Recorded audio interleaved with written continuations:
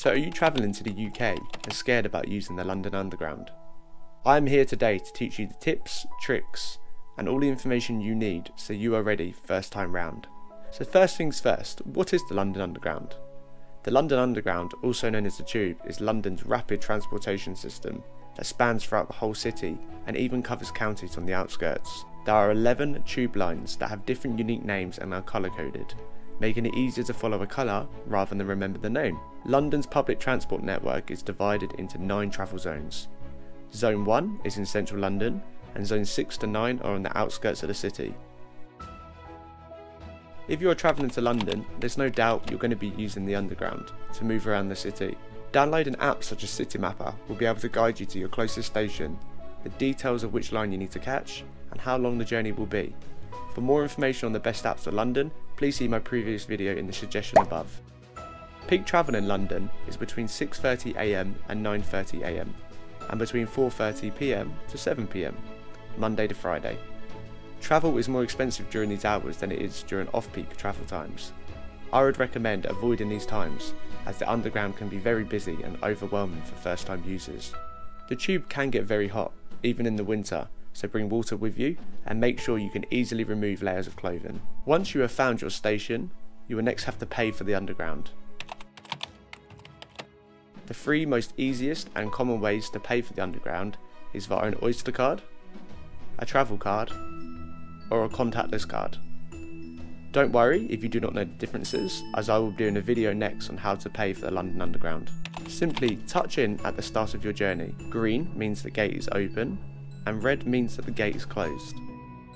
Do not forget to touch out at the other end of your journey, otherwise you could be billed the maximum cap. A cap limits how much you pay for all of your journeys in one day or week. A daily cap is calculated over a 24 hour period, a weekly cap limits how much you pay for all of your journeys in a fixed Monday to Sunday period. If you are using a contactless device to pay for your journey, make sure you have enough battery. Also, watch out for card clash, keeping your contactless and Oyster cards away from your device when touching in and out so you pay for your travel with the right card. Make sure you keep your contactless card or Oyster card separate and not in the same purse, wallet or phone case. Finding the right line can feel complicated, but simply follow the colour code for your line. When you are on the escalators or the stairs, always stand to the right, as those in a hurry will walk quickly or even run down the left side. This is the general etiquette for the London Underground and helping with the flow of busy people. Londoners can be quite rude when in a hurry, so prioritise your safety and stand on the right. Once you are at the end and found your line, you will have to pick left or right. Generally listed as southbound or northbound, or westbound or eastbound. Simply stand aside and find your station on those maps. Once you are waiting for your train, you can find the timings on a digital board. The underground train comes very frequently, so if you find a tube to be overcrowded, or you're just taking your time and not rushing, do not worry, as another line will be there in no time.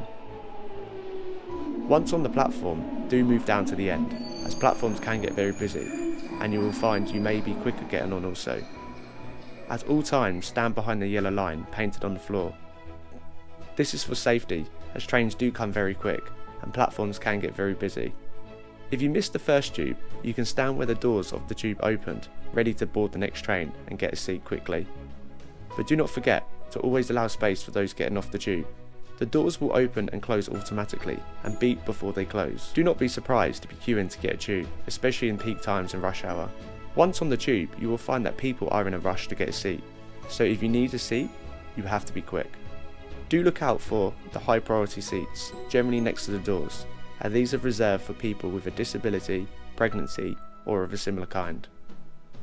If you are standing, make sure to use the handles and hold on, as the tube is very quick and can also brake very quick, so be safe.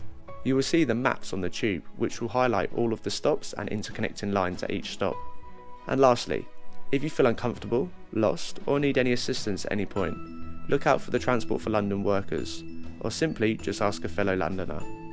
People can look very busy and in a rush in London, but always happy to help and give you advice. If you need to check your payment or journey history, pay unfed fees, or apply for any refunds, you can do this online and I'll put the link in the description below.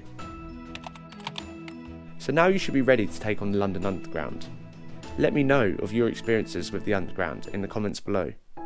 And lastly, please do like, subscribe and comment down below if you found this video to be helpful. See you in the next one.